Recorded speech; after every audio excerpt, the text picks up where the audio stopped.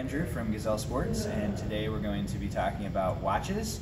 Uh, first, we have Timex watches. If you're looking for a watch that tells you uh, the time of day, tells you how long you've been running, or if you want a timer countdown, um, then uh, the Timex watches will tell you that. Uh, very basic devices. Um, unless you've been stuck under a rock in a hard place, uh, you probably know about Timex watches.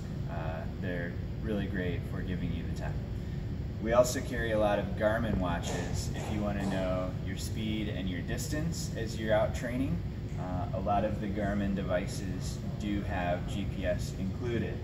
If you want just a basic device that's giving you very accurate speed and distance, at uh, the Forerunner 15 is going to do that for you. You can download your workouts onto Garmin Connect, see where you've been in the world on your run. Um, it's a basic model, but it still gives you that accurate speed and distance. Or you can upgrade to the 220.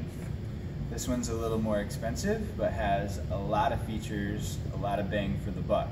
Um, it tells you almost everything that you could want to possibly know as a beginner runner or as an elite runner not the highest end from Garmin, but again, nice bang for the buck.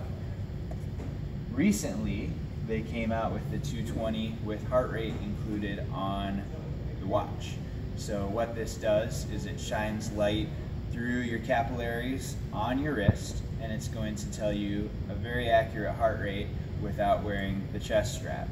We also sell the chest straps. Um, a lot of people will say those are even more accurate, but this is going to be a very reliable source to get your heart rate. Uh, just came out on the market. Another way to get GPS is in more of a lifestyle watch. Uh, the, the Vivoactive just came out recently as well. This one's going to do so much beyond just being a running watch. It's gonna, uh, it'll give you apps. You can download apps on here, kind of like the Apple Watch. Um, you can go golfing with this watch. Uh, this has been a very popular model for those that don't want to look like they're going for a run when they're wearing their watch to the office. This will do both.